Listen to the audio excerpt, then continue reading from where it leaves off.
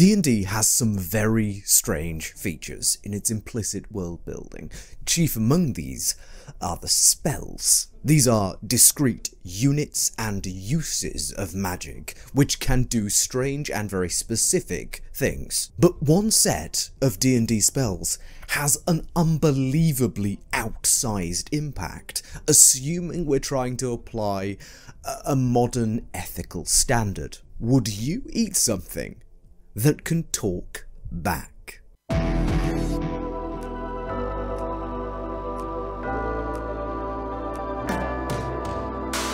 Cutting right to the chase, a few features of D&D's design allow people to talk to plants and animals. There's the first level speak with animals. Furbolgs can communicate intelligibly one way to beast, plants and quote all vegetation. Speak with Plants is a third level spell that lets druids, bards, and rangers imbue plants within 30 feet with limited sentience and animation. And that's not counting the fact that any given beast could be a druid in disguise.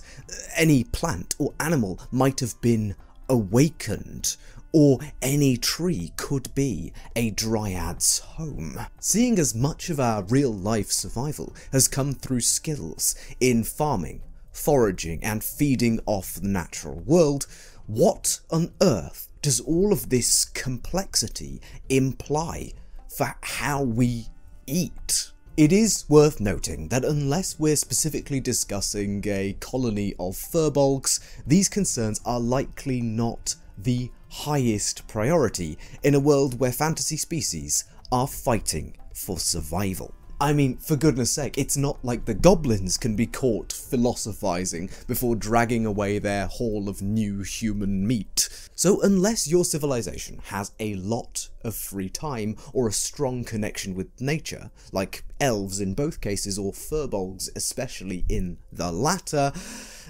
this is most likely a post-enlightenment issue to deal with. But that does mean that any D&D society will eventually come across the burning question, which of the things in the world is it okay to eat? The clearest and most immediate answer to the concerned philosopher is to find a way to only subsist on magical foods. Most simply, good berries, but also food made through create food and water.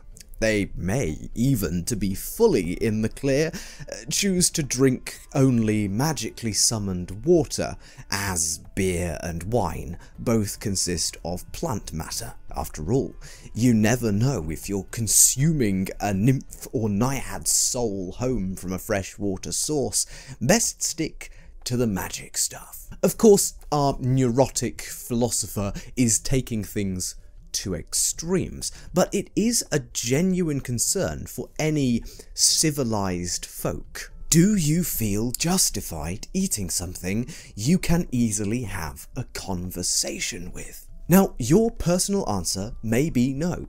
Perhaps you simply don't care if you had a conversation with your meal moments prior.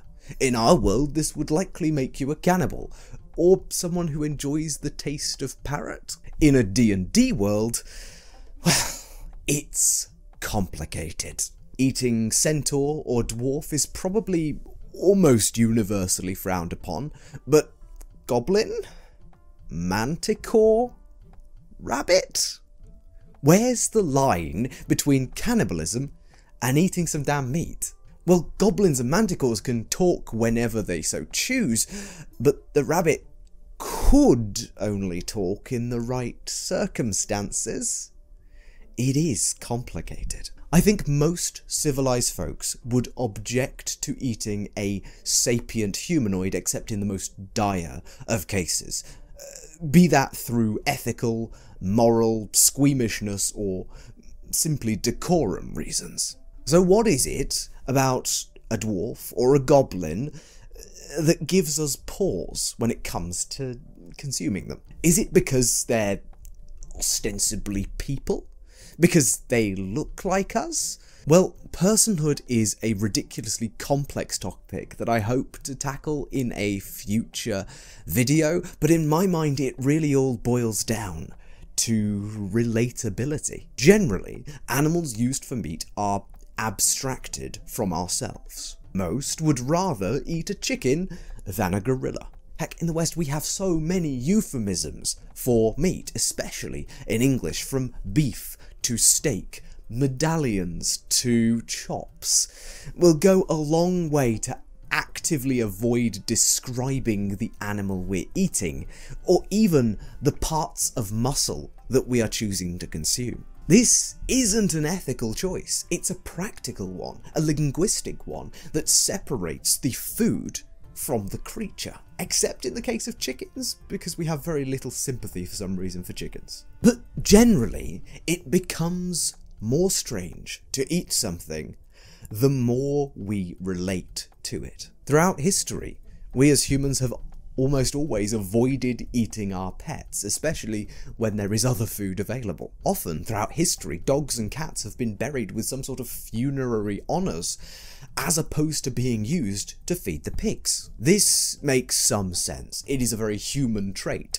to find things out in the world that are relatable to us and attempt to socialise with them. So with all that said, what are some potential responses to the problem posed by being able to talk to plants and animals in D&D? Firstly, you can simply dismiss all of these concerns. Sure, some magical folks can talk to plants and animals, but that doesn't affect the common man. After all, we've been rearing animals and farming plants for generations, and Mm, they've never bothered to complain before. Maybe all this magic is just a trick. Anyway, maybe you're not actually giving these things a voice, but hallucinating or conjuring up some imagined speech using magic. Surely these plants and animals can't be people all the time. You're just essentially puppeting them for a bit. So in sum, all this magic nonsense and philosophy doesn't change the reality for regular skeptical folk. It's just absurd navel gazing by people who keep accidentally creating sentient creatures using magic out of the formless eldritch void. If anything, it just makes magic look one, silly, and two, more dangerous. Another distinctive form of denial comes in justification. Maybe these creatures actually want to be eaten. After all, some insects and far more plants rely on being eaten to complete their life cycles and reproduce. Death is part of life, after all, and if the top of the food chain were to just disappear, there may actually be some pretty disastrous ecological knock-on effects. Proponents of these ideas might even suggest that animals, even discussed with, with magic, understand their place in the natural order. Perhaps beasts simply don't have souls, although technically in some uh, canonical settings of D&D, uh, the Beastlands might disprove that. Or, or perhaps their ideal post-death situation for their bodies is to be consumed by another creature. The only people who claim animals and plants can talk to them either have a vested interest in protecting the natural wild world or have magic. How can we trust them that these creatures are actually intelligent and unwilling to serve a greater purpose in death? Besides, we know we're sapient creatures, and we can't subsist without eating something. Having animals, and even plants in some extreme cases, off the menu is just silly. Many reasonable folks, upon hearing that some plants and animals can be as smart as any regular person and also that they can move around, especially weird in the plant's case, might decide that it's at least good to check before you eat something. Trying to slaughter a pig only to find out it was a druid in disguise, or the awakened advisor to some strange wizard would be a pretty bad turn of events for your average person. So it's generally just a good idea to check if the animal you're about to kill is able to communicate. Farmers may make an even greater habit than nowadays of talking to livestock, and animals that seem to display understanding or sense may find themselves saved from the butcher's blade. This last test before slaughtering may be a sort of neck verse, but for animals, except instead of reciting the Bible to avoid execution, it's just required for the animal to display some semblance of sapience. This may also get used to uh, save a few of the farmer's favourite animals,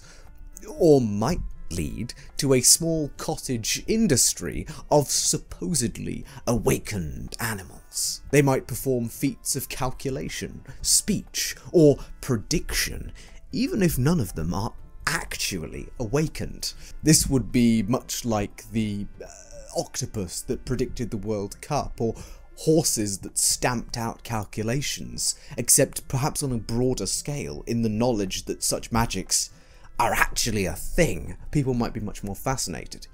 Even if most of the presented intelligent beasts are fake. For plants, perhaps a prayer offered to the gods of the harvest has a pause in it, where all men will be silent, to offer an awakened plant a chance to make itself known. If this practice is old enough, perhaps the reason for it is lost to the generations, so the emergence of a voice from the corn might be deeply disturbing, unless it's one of the local youths playing tricks.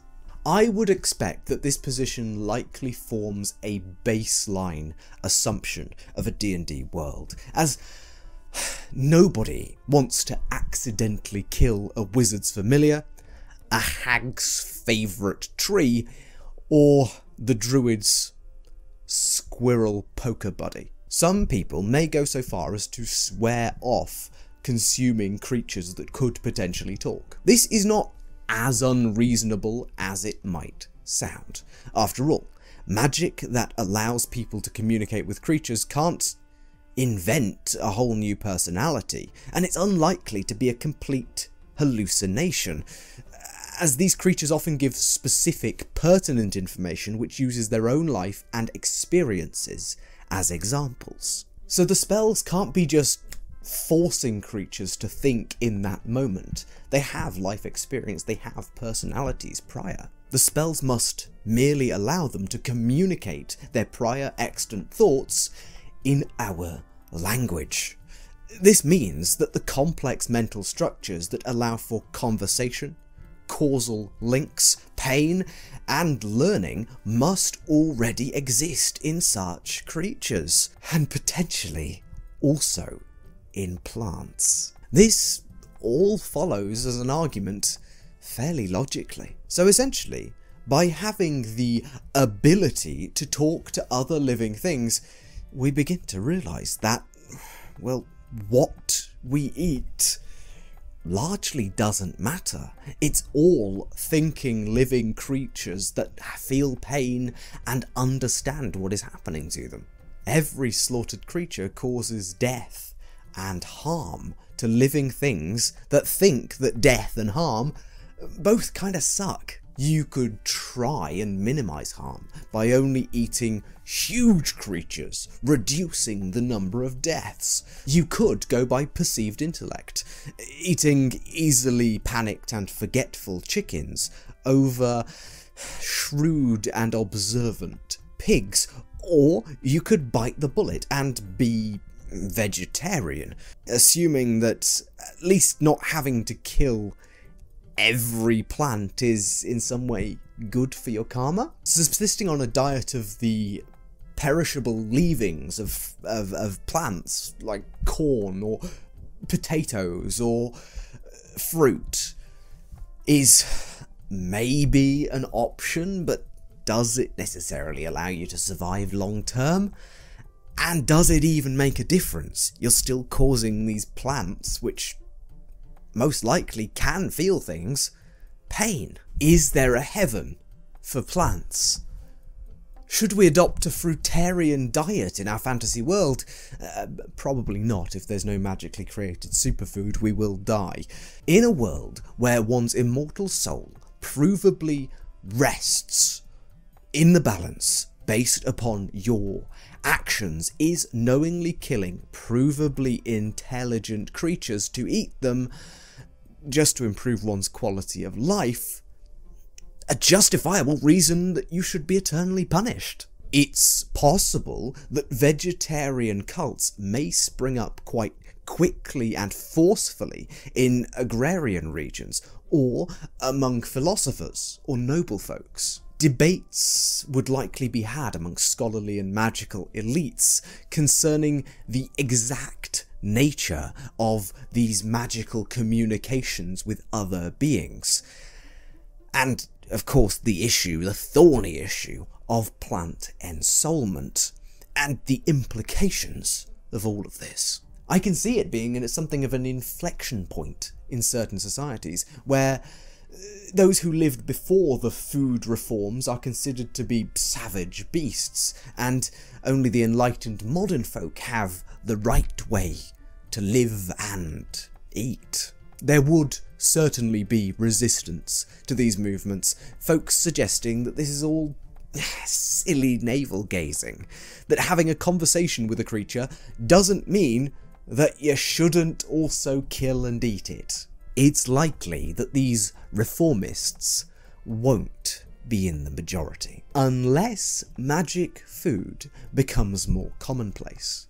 Really, in a fantasy world of any sort, Goodberry is a ridiculous game changer. Someone with a relatively minor talent for the magical arts can create 10 or 20 instant meals, which completely fill up those who consume them for an entire day. It's one of the most significant steps possible in famine prevention, nutritional efficiency, and labour saving. With judicious castings of this spell and compulsory training for anyone who has any sort of talent who might be able to learn this spell, an entire civilization could be fed every day simply through this one magic, if it were socially minded and organised enough. With no actual need for agrarian labour, such a society would be free to do more in the knowledge that no one will ever be food insecure, and maybe some crops are still grown for luxuries.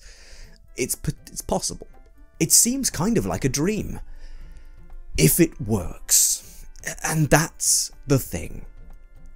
Is magically created food infinite? Does it cause a strain on the world, or magic, or the economy? Is this a situation where, like under the dark sun of Athas, magic has a tangible cost, draws something out of the environment? And so this is not a sustainable way of feeding people. Is it truly consequence free?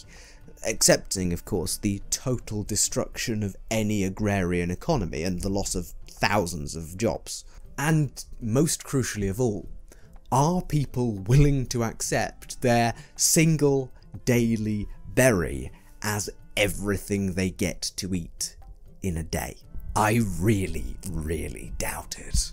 Hypocrisy and uh, two stage systems are the death of any communitarian movement. I fear that this may be no different. But what I would say is that any Druid Grove Furbolg settlement, ranger, or wood elf conclave may well find themselves adopting exactly such a system. After all, it would be hard to kill and eat something when it can tell you to your face in your language that you would be murdering it. Thank you for watching. I, I hope that this has inspired some of those world building thoughts and that the comments don't turn into a raging dumpster fire. Please be civil, folks. Please also let me know if there's any topics, spells, or weird niches that need a world building deep dive of their own in the comments. And subscribe if you want to see more videos like this. But with that said, I've been Tom, otherwise known as the Grungeon Master. Thank you so much for watching, and I will see you in the next video.